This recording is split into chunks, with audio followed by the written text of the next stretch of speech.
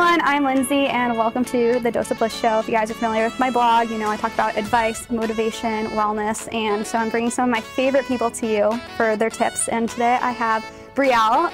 She has an amazing blog called The Gilded Bellini and I'll have her explain it a little bit. Thank you Welcome, for having me. Thank you. So the Gilded Bellini covers everything that is the brunching lifestyle. So it's not just food, but it's fashion. It's when you go to a place, the kind of crowd that's there. I cover everything because I think that brunch is not just a meal, it's an experience, it's an occasion. So while I cover lifestyle aspects, um, my main thing is going into different brunch spots and covering them, doing a kind of Food Network inspired type of episode. So I'll go in and show a real review of an experience at a specific brunch spot. So you don't have to go to Yelp and look up, you know, reviews that might not be accurate, you can go to my site, watch my video, and see how an experience at a brunch is. Mm-hmm. And her blog is amazing. So, how did you get started? Because it's like you have your own business. You have, I mean, if you watch the video quality that she has in her videos and everything, it's it's like a whole production. So, Thank where did this you. and when did this all start? So, I used to live in New York, and when I was living there, the brunch scene was so big. And at the time, I was working in PR, and I kind of always knew the best places first. And when I was there, um, I was working in beauty at that point, and I was noticing that there wasn't really an outlet that covered brunch, or even that talked about you know the people that were going to these elaborate party brunches and things like that. So. I um, I always kind of just was like the brunch guru. So people would be like, Brielle, where should I go for, you know, bottomless mimosas, or where should I go for the best party brunch? Where's the best hole in the wall? So then I moved out here to LA and in the beginning I didn't have a job and I had always wanted to like start a blog or some type of media outlet about brunch because that was always my thing. So I came out here and I started from scratch. I did my research for like six months, developed my website, and then six months later, I was ready for launch and um, I launched in March of 2016. So oh my gosh, it has years. grown yeah. so much in such a quick time. Yeah. So for people watching who may want to like start their own blog, you know, you did a lot of research, which I think is key because a lot of people think that you start a blog and you just go. So what sort of things did you research for this? Basically, I researched um, the places that were currently trending, um, places that were kind of known for specific things. Also, um, just the restaurant space, the types of people that were going to those types of places, and then everything from even just business basics of like starting a website from scratch and I was learning I started on Squarespace and I like literally knew nothing about it. I just taught myself. So it was a lot of that too. It was a lot of industry research, market research, and then also just basic web research. And it took a while. I worked every single day for six months, I'd say, on researching and just getting everything together and putting in at least an hour a day to do it, especially because I had the time because I yeah. wasn't working. So um, it all worked out in the end. so do you have like a blog posting schedule? Because you know a lot of people are familiar with with YouTube because you can see more clearly if someone's posting once a week, but you can't tell all the time how many days a week someone's posting or more than one right. day a week. Um, how do you set up your schedule for that? Oh gosh, I wish I could say that there was like a specific schedule, but there's really not because so many different things will just pop up. So like I'll, I usually have a plan of I'll typically post twice a week, but if something exciting happens where um, you know, I don't know, I get invited to some type of event, like a brunch or a foodie event, and they ask me to cover it, and they're like, "Great, can can you do it like this week?" There's one more assignment for myself to do during the week. Um, when I first started, I was posting four blog posts a week, which is a lot, but I think that's important to gain momentum and get people kind of noticing your mm-hmm. work. And then as you grow, two times a week is good. It's good for SEO and also to uh, keep you sane because it's a lot of work, yeah. you know, creating content, especially full on blog posts. Yeah, and that's that's good to know though because in some things you have to keep going and going and I think that's a really good tip to you know, start out doing more than one day a week, but once you get a good following, you know, it's just as valuable to just do it two times a week and in the balance of your life. You, know, exactly. you can't let it, with the social media world there is today, you can't have it, you know, take over. Oh gosh, no. You'd go insane. And something, as I was going through your blog, I was thinking, you know, you make these amazing produced videos. And one of the things I want to talk about is people don't realize, like, they'll sit there and they'll be like, I want to have a show. I want to do Mm-hmm. this. But, you know, they'll, they'll apply for a job or be like, I don't have the experience. Why aren't I doing it? But, you know, you're a great example of someone who just does it yourself. So how did you just decide to just do it yourself? And then how do you, you know, produce those shows? So when I first started, I was filming the brunches myself with my iPhone, and it was good for a while. You know, when you start out um, and you have like a low budget. So then probably like I don't know, maybe like eight months in, I started working with a video producer who I found and love and still work, with him to this day.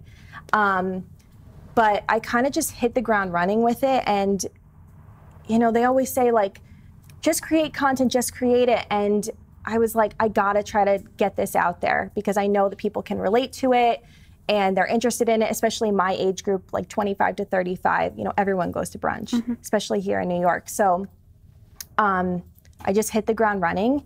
And over time, your videos change or your content changes based on your brand changing and everything like that. So it's definitely not the same as it was. But I will say this these videos are so expensive. So, like you said, you know, people are watching and they're like, I want to do that, I want to do this, or or even making judgments about the videos. Oh, well, she just goes around and like, you know, goes Yeah. to brunch or whatever. But and that's fine. Which is not true. I don't always go to brunch. but I create these videos for my audience so they can get a better sense of, you know, going to a specific brunch experience. But that being said, there's a lot that goes on behind these videos. It's the production, it's I'm creating a script. Um, I'm working with the restaurant and maybe the PR firm to, to coordinate everything and make sure it's all good. And it's a whole entire production. And it's 100% worth the money because the quality matters for my site and my brand. Um, and the people that I work with are so talented. But like I said, anyone who wants to start, just be prepared that it's going to be a little expensive. So you hire a camera crew and an editing crew for yours. for Yeah, videos. well, I have one guy, one video Mm-hmm. producer, and then I have one photographer. So we luckily can get everything done, just the three of us. Um, so they focus on like the camera work and things like that, and then I focus on script. I focus on the writing and you know making sure that I'm nailing every single point of the restaurant, what's important to me in, in the ideal brunch experience, and just translating that in a blog post and in my video so I can share with my And then following. for people watching who might want to start a show or a blog, I mean, where do you find these camera people? You know, how do you find someone who actually does a good job that you're going to like? So I got really lucky because the guy that I work with for now almost three years, I found him on Craigslist. That's crazy. 'cause You don't know who you're finding on Craigslist. You never know. So um, I had like posted for one of my maybe like my third brunch review. It was at Chiconi's in West Hollywood, and I was like, okay, like I need someone. This is the kind of video that I like. He sent me his stuff, and then he did it for me, and I was like, this is exactly what I want. And the quality is amazing, and um, that's all part of my brand is to stay consistent with that too. So that's a obviously a big part. yeah, of what you- when you look at your stuff, it's just so put together. But what's also good for people to know is, you know, it's taking you a couple years to get there. I mean, you just started originally on your iPhone. You know, you don't have to be perfect. Right, right. And it takes time. It doesn't happen overnight. I mean, right now I feel like I'm in the toddler stages of my blog and my business. I'm not in the baby stage. I'm not in the, you know, five to eight year stage where I'm like super um, developed, but I know what direction I'm going in and I know where I want to go, but I have to put in the work to get there. Yeah, and that's important. And I, I think another important thing is, you know, you might feel like you're in the toddler stages, but I mean, if you go look at her stuff, you know, you were you were in a video with it was Gordon Ramsay. Yeah, yeah. yeah. I mean, she was with Gordon Ramsay, and that's her in her mind in the toddler stage. So when you're, you know, just starting out, Yeah. you know, people still will take you seriously if you work hard and put it together. Right. If you put in the work, um, if you're lucky and you put in put in that work, put the right steps in, yeah, you can definitely um, get noticed and get opportunities. It matters, I think, the most about is um, the quality of the work and then how relatable you are and how relatable the content is. Because obviously, people can't relate to what you're saying or, or talking about. It probably won't be as successful as you would hope. Yeah. So being authentic to yourself and Yeah. your personality is probably the number one thing. Yeah. So we we were talking about earlier, you know, having doors slammed in your face, and you know, we're seeing the OTU. Maybe you're in the toddler stages, but anyone who will look at your blog is like, "This is amazing. She has this quality. She's with Gordon Ramsay. She's on all these TV shows." Yeah. So, can you tell us some stories of you know when you wanted something and maybe you got your door slammed in the face and you felt like you know this is the end? Oh gosh. Um, I mean, I don't even know if I could pick out a particular time because it's been closed in my face so many times. Um, even when things are kind of like going strong and I'm like, okay, this is actually going to work out this time. Um, sometimes it just doesn't work. And it's because maybe the person that you're working with or the company or network that you're working with doesn't have a budget for it at the moment or um, you know something fell through on their end or timing or another project came up or it you know it it doesn't matter whatever the you know the problem was but it's happened to me many times so um, the important thing i know it's so cliche but like you have to keep chugging through because the people who are going to make it in the end are the ones that you know withstood through these really hard times and although my site is like very positive and I want to keep it a very positive, fun entertainment space, that's not saying that I haven't had hard days and I haven't been upset over something that fell through. My life isn't perfect. Um, and I have said that many times, like on my Instagram and things like that. Like my brand is very curated, but that's what branding is. But that doesn't mean that, you know, things don't work out for me because they don't, not all the time. Yeah, I think that's so true because I think people don't realize, and that's probably part of the reason why doing it yourself is so important because some yeah. people will say, you know, I know how you like doing hosting as well. Yeah. And, oh, you know, I know what the hosting world is like. Oh, yeah. a lot of people will say, oh, it's so competitive. Or they have all these reasons of why you can't do something. Right. And, you know, if you listen to that, you're not going to do it. You know, you right. have to you know, do your own show, have your own blog, 100%. you know, have your own thing and fight through all of those no's. Right. Yeah. And of course, I, I've been told so many times, like, well, you know, maybe you should just, you know, forget it. Like, you're putting so much energy into this, so much time and money. And I'm like, but you have to think, what would my life be like if I just decided to, to drop this whole thing? Would I feel complete? Would I feel like something's missing? And yeah, 100%. Like, I don't think at this point in my life I would be who I am without the Gilded Bellini. Yeah, exactly.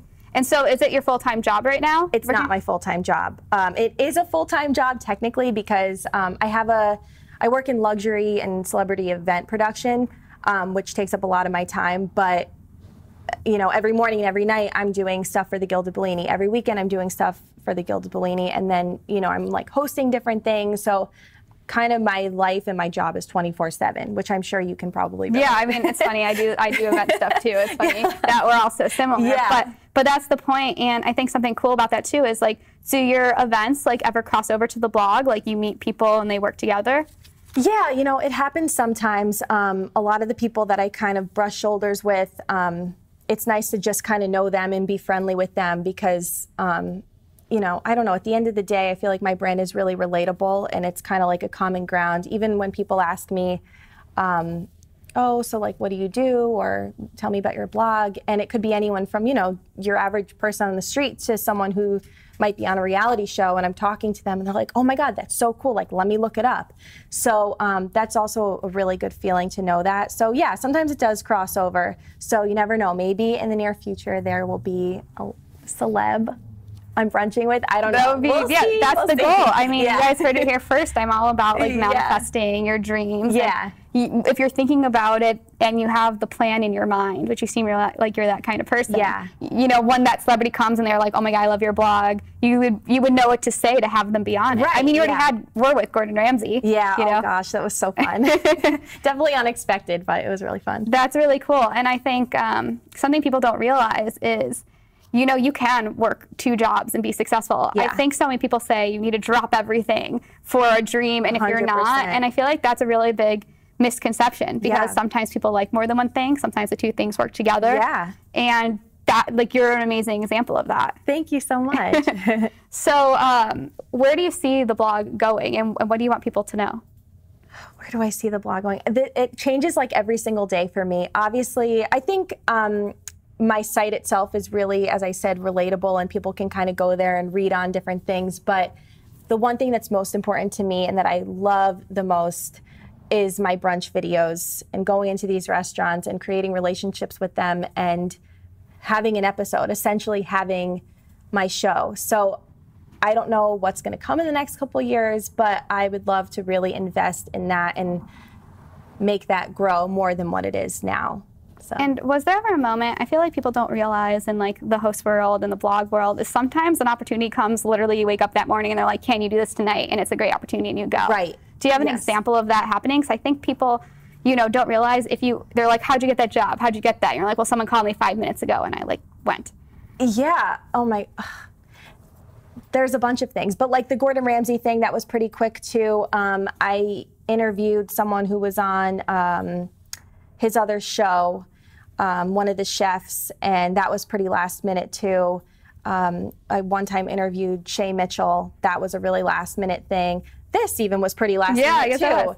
So um, luckily, I'm really grateful that my job, I'm able to just, okay, I'll be back in an hour, like, you know, do Mm-hmm. what I got to do, and then I can go back to work. So, but yeah, this industry, things happen at the drop of a hat. So it's really fortunate if you have a flexible job because then you can balance Mm-hmm. the two of them. So we're about to wrap this up, so this will be my last question. Mm-hmm. Um, what about this whole experience of blogging? Like, what did it teach you about yourself? it taught me that I'm stronger and smarter than I thought I was before. Like when I was working in PR in New York, I was always I've always been a hard worker my whole life. I've always been really ambitious. But when I came here and I'm trying to, you know, do what I love and what I am picturing myself to do in the next couple years while I'm trying to make money, while I'm trying to network, while I'm trying to connect with people I don't know. My whole life I was so shy. I was like, "Oh, I don't like to talk in front of people. I don't want to, you know, it's scary to me." But being put here and the only way for me to um, introduce my brand to other people is to be like networking and, and just being brave and uh, again like we were talking about before so many doors have been slammed in my face. Doesn't matter you know how much work i put into something it could be a no really quick just when you think it's going to be great. So i think it just um, it roughs you up a little bit which is a good thing. You can you can take you know punches as as they come and then be more grateful for the good things that happen so definitely um, also just going off of that i feel like i've definitely developed more my creative side and my business side and making these decisions for myself um, it puts you like right in the hot Yeah, seat with confidence. yeah with confidence so yeah Yeah, that's true to know. I think that's something so important for everybody to know is how hard it is really to achieve your dreams, and you just have to keep going. yeah And you get to go to amazing brunches. I, I went to your blog. I was like, That I have helps to. too. I have to eat there. Um, so thank you so much for being on the show. Um, tell everybody where they can find you. Thank at. you for having me. So you can find me on Instagram at the Gilded Bellini, G I L D E D B E L L I N I, like the brunch drink. and then also on Facebook at the Gilded Bellini. yeah, you guys have to follow her and check the blog out. It is amazing.